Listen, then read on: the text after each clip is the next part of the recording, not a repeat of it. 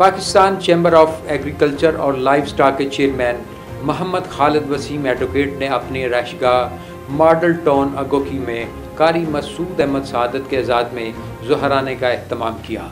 इस मौका पर मोहम्मद खालिद वसीम एडवोकेट ने कारी मसूद अहमद सादत की मजहबी और समाजी खदमात को खराज तहसीन पेश करते हुए कहा कि ज़रूरतमंदों से इजहार हमदर्दी और इमदादी अमल में बढ़ चढ़ कर हिस्सा लेना कारी मसूद अहमद सादत का शेवा है।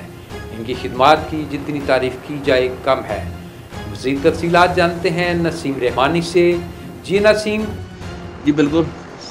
सियालकोट से पाकिस्तान चैम्बर ऑफ़ एग्रीकल्चर और लाइफ स्टॉक के चेयरमैन मोहम्मद खालद वसीम एडवोकेट ने अपनी रहायश का मॉडल टाउन उगोकी में कारी मसूद अहमद सादत के आज़ाद में जफराने का अहतमाम किया जिसमें रफ़ार ने भी शिरकत की। इस मौका पर मोहम्मद खालद वसीम एडवोकेट ने कारी मसूद अहमद सादत की मजहबी और समाजी खदमात को खराज तहसीन पेश करते हुए कहा कि ज़रूरतमंदों से ज़ार हमदर्दी और इमदाद, इमदादी अमल में बढ़ चढ़ कर हिस्सा लेना कारी, मसूद अहमद सादत का शेवा है। इनकी खिदमत की जितनी तारीफ़ की जाए, कम है। कारी मसूद अहमद सादत ने गुफ्तु करते हुए कहा कि हम मोहम्मद खालद वसीम और इनकी फैमिली के लिए दुआ गो हैं, जो मजहबी रहनुमाओं की बड़ी खदमत करते हैं और उनकी कदर करते हैं। अल्लाह ताला वसीम फैमिली को बरकत और फजाइल से माला माल करे ताकि वो खिदमत के अमल में हमेशा पेश पेश रहकर अपनी खिदमत का अमल जारी रखें।